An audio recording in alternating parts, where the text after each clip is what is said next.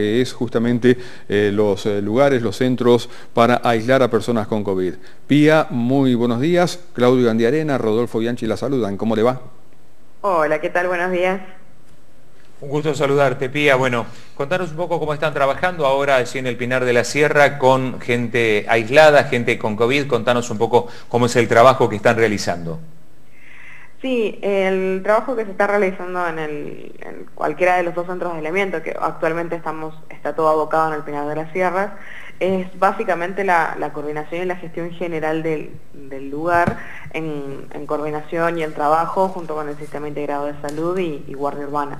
Básicamente los trabajos que hacen los voluntarios de Cruz Roja tienen que ver con el bienestar de las personas, el hecho de los controles diarios que se le realizan a los destinatarios que están en el predio y después, bueno, toda la gestión de cualquier insumo, requerimiento, demás que tanto ingrese al lugar como que necesiten las personas que están aisladas. ¿Cuántas personas aproximadamente hay en estos momentos? Eh, seguramente a ser una cifra que va variando día a día, ¿no? Sí, exactamente, es algo que va variando, día a día y también hora a hora. O sea, puede que mm, anoche, por ejemplo, teníamos cinco destinatarios y probablemente dentro de las próximas horas tengamos diez. Bien, hablaste de dos lugares, uno es el Pinar de la Sierra, el otro es un hotel o hay otro sitio ahora actualmente? No, originalmente teníamos el gimnasio del campus de la UNICEN y el Pinar de la Sierra. Lo que se hizo fue que se unificaron ambos lugares en el Pinar de las Sierras, quedando el campus universitario como resguardo en el caso de que se necesite.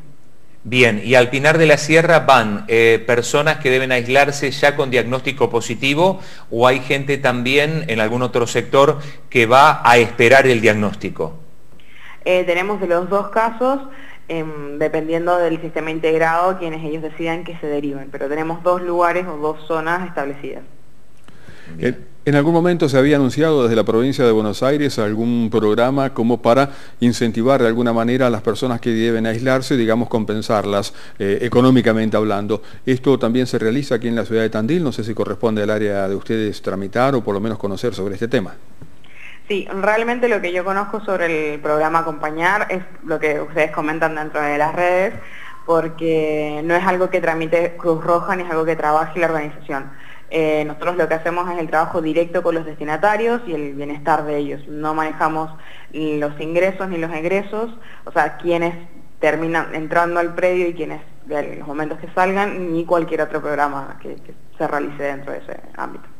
Correcto. Pía, eh, ¿cómo es un día de trabajo allí? Eh, ¿Cómo se organizan? Porque recordemos que, por ejemplo, tienen tres zonas, eh, la zona verde, amarilla, roja. Cuéntenos un poco cómo es el día de trabajo de los voluntarios de la Cruz Roja.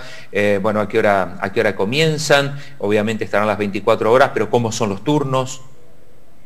Sí, nosotros, como bien decía, estamos 24 horas, pero tenemos tres grandes turnos. El primero va de las 8 a las 3, a las 15, perdón, de las 15 a las 22 y después de las 22 a las 8 de la mañana. Em, en los primeros turnos lo que se hace es los control de signos de todos los destinatarios, además de un chequeo y un stock general del, del predio, las instalaciones, eh, en donde se pueda revisar algún requerimiento general que se requiera o requerimientos específicos que tenga alguno de los destinatarios. A su vez, al hacer los controles de salud, se le pasa el parte al sistema integrado como para que se puedan tomar las mejores decisiones si alguno de los destinatarios requiere alguna revisión posterior, eh, envío de alguna ambulancia o demás, ¿no? Eh, todos esos controles se realizan, los realizan los voluntarios de Cruz Roja con todo el equipo de protección personal que se requiere, ¿no? Desde overoles, barbijo N95, barbijo quirúrgico, pares de guantes, antiparras, máscaras faciales eh, y demás. Después, eh, a la tarde se gestiona todo lo que es la alimentación, al mediodía y a la noche, y luego en el transcurso de la tarde, eh, si es necesario, se hace un nuevo ingreso para volver a hacer algún control o demás, y durante todo el día se está yendo a visitar las zonas en donde están los, destinatarios como para poder eh, chequear si se requiere algún tiene alguna nueva necesidad o se requiere que se haga algún ingreso por alguna situación específica. Igual nosotros estamos en contacto permanente con los destinatarios a través de diversos dispositivos de comunicación. Correcto. En lo que tiene que ver con el perfil de las personas alojadas, bueno, básicamente podemos eh, describirlo de alguna manera, no sé si edades eh, o por qué eh, eligen justamente a este centro de aislamiento para cumplir justamente con los protocolos. En general, las personas que se aíslan dentro del, del Pinar de las Sierras es el hecho de que no tienen un lugar externo para poder cumplir el aislamiento, ya sea que viven con otras personas y no quieren realizar el, aislamiento en su propia vivienda o eh, no tienen las condiciones como para poder eh, aislarse de una forma efectiva. Entonces, de, esa manera es que el CIP, una vez que se le hace el hisopado o, se contactan con ellos, los deriva al, al Pinar de las Sierras. Bien, estamos hablando con... Sí, perdón, Pía. Eh, Pía Díaz Calderón es coordinadora de la Cruz Roja. Es muy interesante esto que vos eh, comentás, que son determinados momentos al día en el cual los voluntarios ingresan a estar eh, con las personas que están allí aisladas. Recordemos que obviamente tienen que, vestirse, revestirse en lo que es la zona amarilla para poder ingresar. ¿Cuántas veces entran al día? haciendo la salvedad de esto que vos decías, que igualmente hay vías de comunicación siempre con las personas. En general nosotros tenemos eh, programadas dos entradas en el día. Obviamente eso puede variar en relación a cualquier necesidad que se requiera. Está preparado y programado que se pueda ingresar en cualquier momento que se requiera, pero programadas hay dos entradas en el día. Bien. Bien, María Elín, Pía Díaz Calderón, no sé si hay algún mensaje en particular para plantear en este momento, seguramente el agradecimiento para los voluntarios. ¿Cuántos son aproximadamente?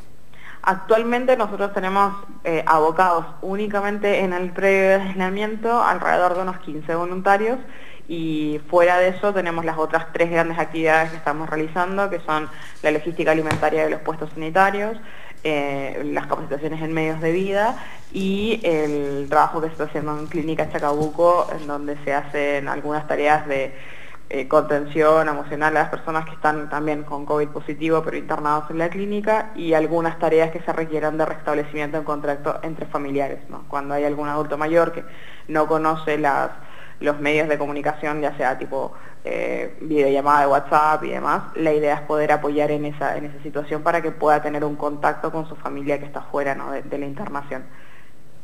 Es muy interesante lo que estás contando, Pía. Hacen este trabajo ustedes en la clínica Chacabuco, entonces voluntarios, bueno, para que puedan estar en contacto aquellas personas que no pueden manejar un celular o no saben. ¿Ustedes lo están haciendo esto ahí en la Chacabuco? Sí, sí, sí, es un programa que empezamos la semana pasada a petición de la directora médica de la clínica Chacabuco y, realmente es, un programa que, esperamos, más allá de la situación de COVID actual, que esperamos poder continuar en el largo del, tiempo, ¿no? Bien, interesantísimo. Bueno, Rodolfo, eh, si no quedan más preguntas, le agradecemos a Pía que siempre tan gentil en respondernos. Muy amable, Muchas gracias a ustedes por, el espacio y bueno, que sepa todas las personas que, puedan estar escuchando que cualquier cosa que quieran sumarse a nuestro voluntariado se pueden contactar a través de, nuestras redes, redes sociales o, el correo electrónico tandil.cruzroja.org.ar. Buenísimo. Pía Díaz Calderón, gracias. Es coordinadora de la Cruz Roja aquí en la ciudad de Tandil. Están haciendo un gran trabajo, ¿eh? tanto en los centros de aislamiento como esto que nos comentaba en la clínica Chacabuco, tratando de eh, bueno, hacer que las personas que están internadas, que obviamente